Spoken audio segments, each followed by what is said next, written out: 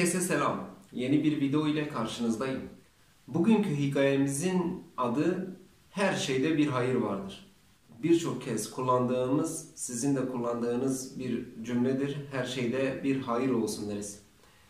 Günlük yaşantıda herhangi bir şeyle karşılaştığımızda veyahut başımıza bir şey geldiğinde teskin etmek amaçlı aynı zamanda bir Allah'ın ayeti olan her şeyde bir hayır vardır cümlesini teskin edici maksatla kullanırız birçoğumuz.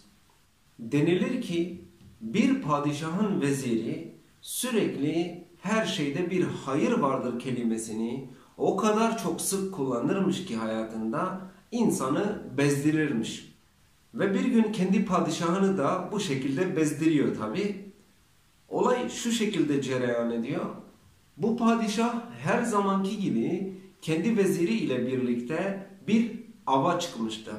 Ava çıktığı esnada padişahın tüfengi tutukluk yapmış.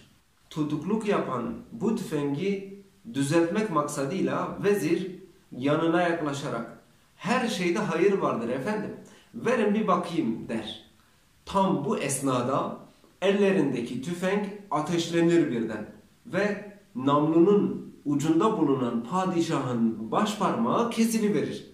Padişah acı içerisinde feryat figan ederken bizim vezir gene aynı cümleyi söyler. Her şeyde hayır vardır efendim, sağlık olsun der. Bunun üzerine padişah öyle bir sinirlenir ki, ulan benim parmağım kesilmiş, sen burada halen her şeyde bir hayır vardır diyorsun.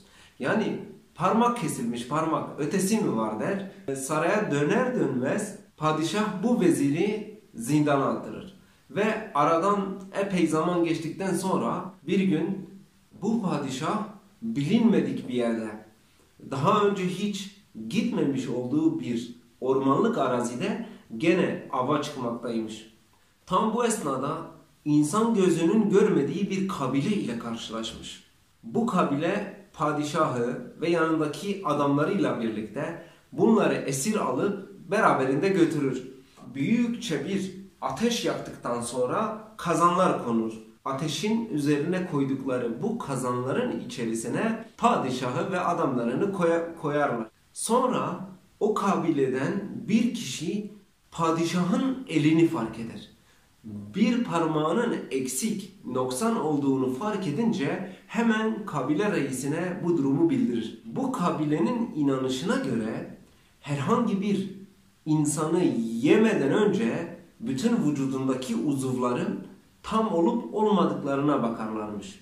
Herhangi bir insanın bir organı, bir uzuvu, parmağı, eli diyelim eksikse bu onların inanışına göre yedikleri takdirde başlarına çok kötü felaketler geleceğine inanılırmış.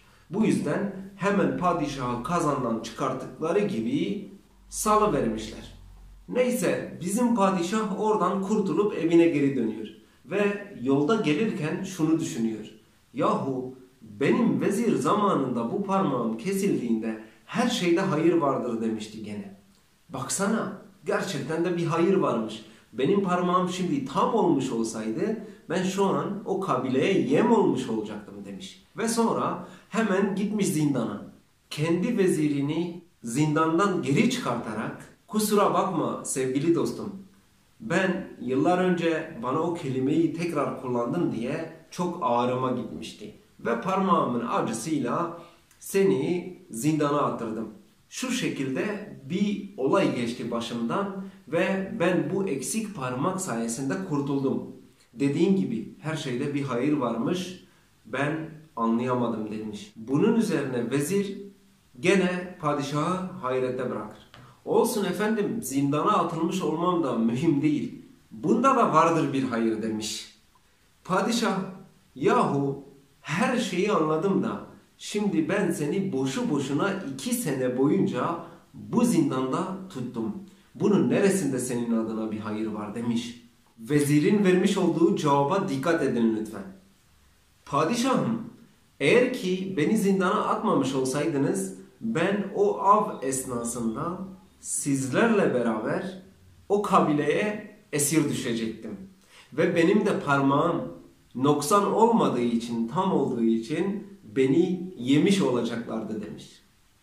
Bugünkü hikayemiz bu kadardı. Kanalıma destek amaçlı halen abone olmamışsanız videonun altından abone olmayı, bildirim zilini tüm olarak açmayı lütfen unutmayın.